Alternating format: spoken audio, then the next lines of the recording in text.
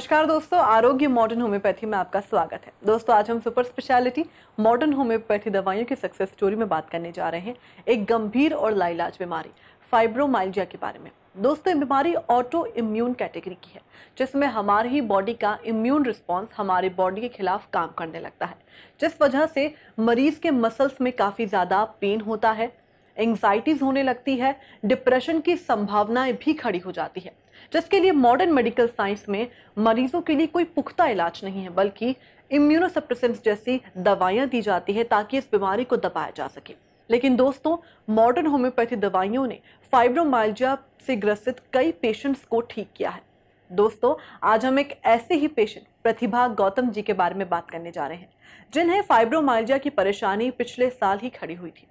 जहाँ उन्होंने कई डॉक्टरों से कंसल्ट किया और कई प्रकार का ट्रीटमेंट भी लिया। फिर टेस्ट करवाने के बाद उन्हें पता चला कि उनका A N A factor positive है। फिर इसी दौरान उनके हस्बैंड ने न्यूज़पेपर में डॉक्टर अर्पित चोपड़ा जैन की मॉडर्न होम्योपैथी चिकित्सा पद्धति के बारे में एक आर्टिकल पढ़ा और ये पढ़ते ही उन्होंने तुरंत डॉक्टर अर्पित चोपड़ा जैन से संपर्क किया और मॉडर्न होम्योपैथी चिकित्सा पद्धति पर अपना भरोसा दिखाया। और ट्रीटमेंट स्टार्ट करने के कुछ ही दिनों में प्रतिभा जी को काफ़ी ज़्यादा आराम पड़ने लगा। वहीं ट्रीटमेंट के एक महीने बाद जब उन्होंने टेस्ट करवाया तो उनका ए एन फैक्टर नेगेटिव आया। वहीं आज वे पूर्ण रूप से स्वस्थ है और एक खुशहाल जीवन बिता रही हैं। तो चलिए दोस्तों, जानते हैं प्रतिभा गौतम जी के हस्बैंड से कि किस तरह मॉडर्न होम्योपैथी दवाइयाँ फाइब्रोमाइल्जिया जैसी गंभीर बीमारी को जड़ से खत्म करने में कारगर साबित होती है। नमस्कार, मेरा नाम प्रशांत गौतम है। मेरी वाइफ का नाम प्रतिभा गौतम। और ये ये बात है बड़ौदा की, पिछले साल की बात है, सितंबर सितंबर की बात है। सितंबर में स्टार्ट हुआ था। तो ऐसे ही धीरे धीरे स्टार्ट हुआ था इनके। तो एकदम अचानक पैर में स्वेलिंग आ गई, पहुँची, सूजन आ गई। तो सूजन की वजह से इनको पैर में चलने में भी दिक्कत हो रही थी। तो फिर बाद में कंसल्ट किया तो वहाँ डॉक्टर रूपेटोलॉजिस्ट थे, उनको कंसल्ट किया। उन्होंने कहा कि ये जो है, आप ए टेस्ट कराइए। ए टेस्ट कराया था वो पॉजिटिव नहीं। तो तो सर, उसके बाद में फिर हमने फिर दोबारा कंसल्ट किया। बोले कि अभी आपका जो ट्रीटमेंट स्टार्ट करता हूँ मैं वन ईयर एक एक साल तक आपको कंटिन्यूस दवा खानी पड़ेगी। उसमें उन्होंने काफ़ी स्ट्रिक्ट परहेज वगैरह भी बताया था और दवाइयाँ टाइम से बहुत सारी दवाइयाँ,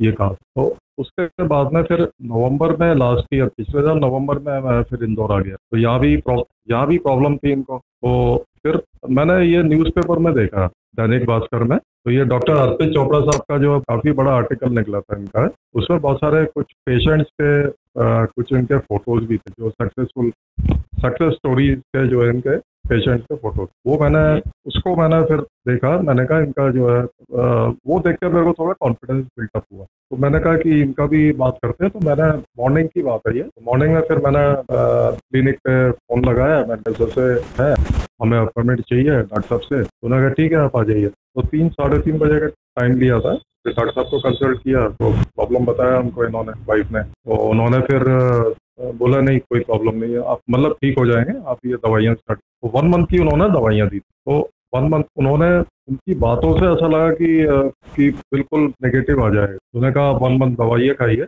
और मुझे भी ये कॉन्फिडेंस बिल्टअप हुआ उस समय कि उनके जिस हिसाब से वो बोल रहे थे। तो वन मंथ तक इन्होंने ट्रीटमेंट लिया। दवाइयाँ जो उन्होंने बताई थी टाइम से खानी है। कुछ लिक्विड थी टैबलेट्स थी, कुछ मीठी गोलियाँ थी। तो सर, वो वन मंथ तक हम ये खाती रही। और उसके बाद में उन्होंने ये कहा था वन मंथ के बाद में आप, इसका दोबारा टेस्ट तो वन मंथ के बाद में जब टेस्ट कराया तो वो सरप्राइजिंगली वो नेगेटिव ही निकला। और इनका जो स्वेलिंग थी धीरे धीरे खत्म हो गई, दवाइयाँ खाते तो काफ़ी अच्छा लगा इनको भी, आराम मिला। किसी मरीज़ को अगर आराम मिल जाए तो उससे खुशी की बात क्या हो? तो ये जो बीमारी होती है ये कहीं भी जा सकती है शरीर में। और ये काफ़ी टाइम भी लगता है इसको नेगेटिव होने लेकिन एक चमत्कार ही हुआ एक तरीके से वाइफ के साथ में।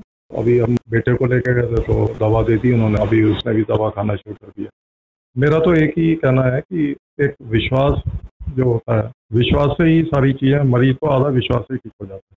तो, तो आपको विश्वास मतलब आस्था रखनी पड़ेगी जैसे हम भगवान में आस्था रखते हैं तो डॉक्टर भी भगवान का ही रूप होते हैं। और तो वो आस्था के दम पे हम दवाइयाँ खाएँ टाइम से उनको फॉलो करें तो आ, मुझे नहीं लगता कोई बीमारी ऐसी है जो ठीक ना आप परहेज वगैरह कुछ नहीं था, बस इसमें क्या था कि टाइम से आपको दवा खानी। जो आपने जिस दवा का जो टाइम बनाया पीरियड में आपको दवा खानी है, अभी ये बहुत बढ़िया है, अभी ठीक है, कोई प्रॉब्लम नहीं और डॉक्टर साहब ने भी मतलब बताया कि पहले उन्होंने एक्सप्लेन किया था कि ये ऐसा होता है, ये ऐसा है। काफ़ी कुछ ए के बारे में बताया था स्वेलिंग के बारे में, ये जॉइंट्स पेन के बारे में बताया था। तो मतलब उससे लगता है कि उनको नॉलेज काफ़ी है और वो जिस फ़ील्ड में अभी इस फ़ील्ड में काम कर रहे हैं होम्योपैथी जो पुरानी वाली होती थी तो, तो अभी मैं जो भी पेशेंट्स को ठीक कर रहा हूँ वो मॉडर्न होम्योपैथी ट्रीटमेंट से कर बेस्ड ऑन प्रैक्टिकल अब पुरानी होम्योपैथी में तो काफ़ी टाइम लगता है होम्योपैथी तो उसमें काफ़ी पहले जो डॉक्टर्स होते थे वो बोलते थे कि आपको चार पाँच साल तक दवा खाना और तब आपको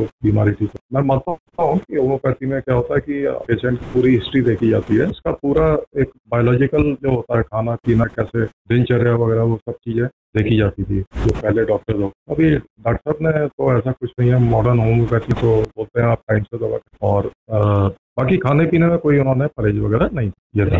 नहीं कोई साइड इफ़ेक्ट नहीं हुआ। बीमारी ठीक हो जाए तो उससे बेटर कुछ भी नहीं होता ऐसा कुछ भी नहीं होता। लोग को क्या है कि आ, मेरे मेरे कुछ एक्सपीरियंस है मैंने लोगों को देखा है कि वो पैसा लेके अस्पताल में घूमते हैं फिर भी क्या पैसा अपनी जगह पे है ठीक होना चाहिए। तो उनको सर उनको ऐसा है कि वो जो अभी ये नेक काम कर रहे हैं लोगों की भलाई का काम कर रहे हैं इसको इसको ही भगवान उनको भी शक्ति दे ताकत दे जिससे और और ज़्यादा करें और जनता की सेवा ये, सेवा ही। है दर्द में आते हैं, फिर फिर दवा का फिर उससे आपने ठीक हो जाते हैं। तो मेरी तो उनसे तो उनके साथ में शुभकामनाएँ हैं कि वो हमेशा ऐसे ही सेवा करते रहें।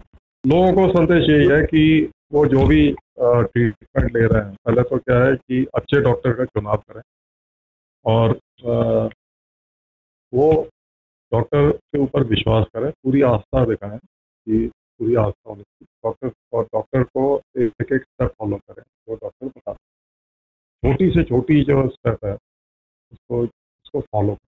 और टाइम से दवा खाएँ, मरीज़ बताएँ तो मरीज़ करें। ये ये सब चीज़ें और आस्था रखें। डॉक्टर ना तो मैं आज, डॉक्टर साहब को मैंने कहा था, मैंने उनको बहुत आभार प्रकट किया। भगवान उनको और तरक्की दे, और ये जो जन सेवा कर रहे हैं इसमें मरीज़ आते हैं ठीक हो जाते हैं। मैं तो यही कहूँगा रोते रोते आते हैं हँसते हँसते जाते पेशेंट के बारे में जाकर, चाहे वो स्टेज वन से स्टेज फोर के कैंसर के पेशेंट हो, चाहे स्टेज वन से स्टेज फाइव के किडनी फेलियर के पेशेंट्स हो, चाहे ऑटोमिन बीमारियों से ग्रसित ऐसे पेशेंट जो इम्यून सप्रेसेंट पेन किलर या स्टेरॉइड्स लेने के लिए बाध्य हो चुके थे, चाहे ऐसी बीमारियाँ जिसमें सर्जरी एकमात्र ऑप्शन था, और सर्जरी के बावजूद भी इस बात की कोई श्योरिटी नहीं थी कि ये बीमारी वापस नहीं आ सकती। ऐसी कई प्रकार की सर्जरी के केसेस को हमने मोडोपैथी से पूरी तरीके से ठीक किया है, और साथ में कई ऐसी बीमारी जो life problem blood pressure diabetes मिर्गी माइग्रेन कोलेस्ट्रॉल थायराइड जिसमें जीवन भर दवाई खाने की प्रतिकूलता बताई जाती है। हमारा उद्देश्य है कि हम शुरुआती लेवल पर ही मॉडर्नोपैथी का फ़ायदा देकर आप इस तरीके की लाइफ स्टाइल प्रॉब्लम